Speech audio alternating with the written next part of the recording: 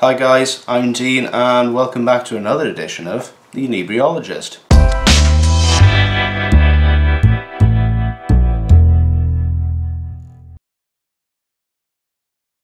So this week, going back to um, sort of Belgian territory now. It's one of my favourite sort of breweries really. Uh, and one of my favourite beers because it's just it's been a consistently very good beer that I've had when I've gone back to Belgium. I've tried it on on draft as well. It's it's very very good. So the uh, the beer I'm going to be revealing this week is the Cuvée de Chateau and it's the uh, Kasteel beer range and the uh, the brewery is Brewery van Honsebrouck. This stuff is uh, fantastic. It's, it's probably probably the fondest memories of this as being one because it is one of the first sort of real Belgian beers that I've I'd ever tasted, aside from like Leffe and stuff like that. You know, that's it's not really. It is Belgian beer, but it's not really Belgian beer. You know, but when you get into the nitty gritty and actually try uh, a range of beers from from Belgium, you know, which you don't really have uh, in this country. Or yeah, this this was um, this was one of the first ones that I tried um, outside of the the general ones. So um, I remember trying this, and it was just it was mind blowing. I think uh, for me anyway, it was uh, uh, it was so refreshing to try something new and to know that there's a whole world of, of beers in in Belgium. You know, because. I think before I tried stuff like this, I just thought you've got Leffe and Hoegaarden and and that was pretty much it or Früli and stuff like that you know and but yeah got into st trying stuff like this and then it's gone it's opened my world to Belgian beers. So Cuvée de Chateau is um, basically one of the sort of premium uh, beers of the Kasteel range. Yeah, so I forgot to mention as well, this is, is quite a strong beer. There we go, so it is 11% ABV, uh, 33 centilitre bottle. Probably wouldn't need more than one of these or a couple of these to drink anyway because it is as far as I remember, it's it's um, uh, it's quite a rich beer to drink. So you know, one or two is fine to drink. But yeah, without further ado, time to uh, get into a glass and see what we've got. Yeah, and I do kind of like the the little sort of uh, bottle caps they got on there as well. The Cuvée de Chateau little bottle cap, which is quite nice. But, you know, you can't have a Kasteel beer um, without having the proper glassware for it. So um, yeah, so I got this glass, uh, which is the proper Kasteel glass. It's got the little castle on the bottom there, if you can see with the with the little windows and stuff. I think it's I think it's beautiful. So anyway, do want to carry on boring you with the glass? Uh, time to get the beer into the glass. So uh, so here it goes.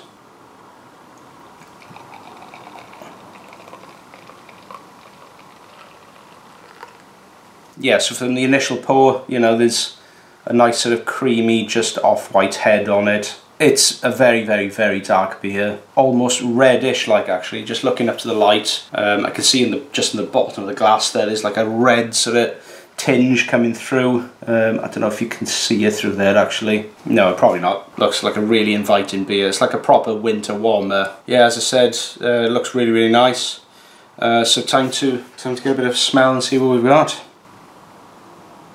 Oh, yeah, that's uh, bringing back memories. Well, quite recent memories actually. Is uh, you know, it wasn't a long time ago since I, I tried one of these last, probably last um, November time I think it was, October, and it's um, you know it's March now. So, um, but yeah, this it's just a it's a really good beer. Yeah, one of my favourites I think. Um, you know, because the the complexity that you get from just from the smell alone is um, is fantastic lots of like um, raisins and um, plums and um, winter spices. Got a touch of vanilla going on in there as well. It smells quite sort of oaky and woody, uh, like it's been in a, in a cask and it's like matured over time. But you know, it does smell um, quite sweet as well. It, uh, you know, I'm not sure if they put like sort of candied sugar in there or some sort of additional sugars, but it does smell quite sweet. And uh, at the same time, it's got that sort of Belgian uh, yeasty sort of bready smell to it as well. Amazing stuff. It smells smells so good. So um,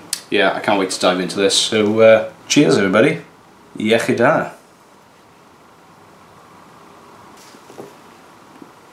It's such a such a really nice warming beer. Just taking from the one sip of it, you know, there's there's like that sort of nice alcohol warming feeling going right down. It's a nice little warm embrace. It is one of the first things you can taste on that. When you taste it, you can taste the alcohol, but on the smell, it doesn't smell that boozy at all. It doesn't. Um, it doesn't even have that whiff of like sort of ethanol or or anything like that. But on the flavour, yeah, you can definitely taste it. So the flavours on it, pretty much like what the smell would be like, you know. So it's got that sort of raisiny, um, figgy type of um, plummy taste to it, and also like the uh, like sort of winter sort of spices. So you you got things like cinnamon, nutmeg. You know, it, it it's amazing how it tastes like that. It does taste quite on the sweet sort of side as well. You know, with that sort of sweetness you got in there, I'm, I'm guessing they must have put maybe some like candied sugar or something like that in there. You know, even from the malts as well, because it's, it's got that sort of sweet toffee, really thick sort of caramel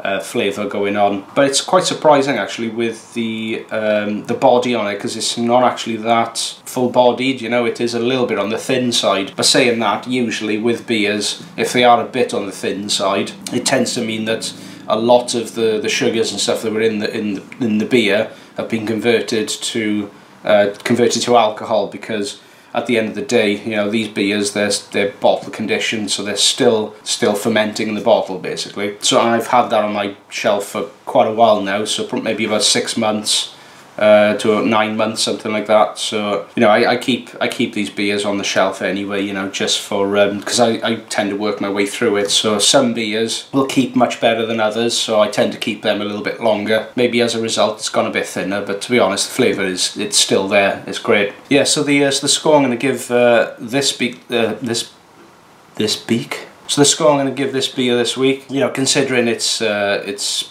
well, one of my all-time favourite beers, to be honest. And it was one of the beers which was kind of like a proper gateway beer into like more sort of like proper Belgian beer territory, should we say, you know. So yeah, um, so the score I'm going to give this beer is um, 4.5 out of 5. You know, from that score, it, it is a great, great beer. Probably, I think I'd probably give this a possibly a higher marking if it was more of a full-bodied beer. Even though the flavours are spot on with this, I think when it comes to the sweetness as well, I don't like beers which are too sweet. But I think if it was a little a little less sweet, um, I would have given it a higher marking. But uh, but still, four and a half is is considered by me. Um, you know, it's a fantastic beer. So yeah, if you if you can get your hands on it, get the um, Cuvée de Chateau by uh, Brewery Van Honsebrouck. Fantastic beer.